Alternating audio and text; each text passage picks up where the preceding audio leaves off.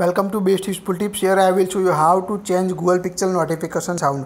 By default set a notification tone and ringtone in your Google Pixel and other devices. To change it go to settings, tap on a sound, scroll down here you can see default notification sound. Tap on notification sound you can see different notification sound.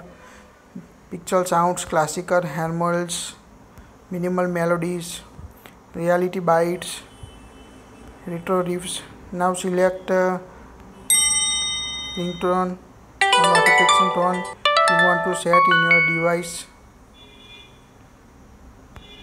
After set uh, ground tap on a save icon of the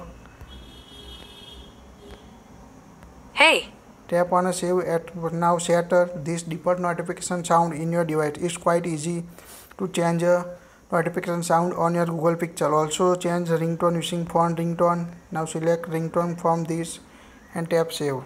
That's it. Please like it, share it and don't forget to subscribe to get more tips.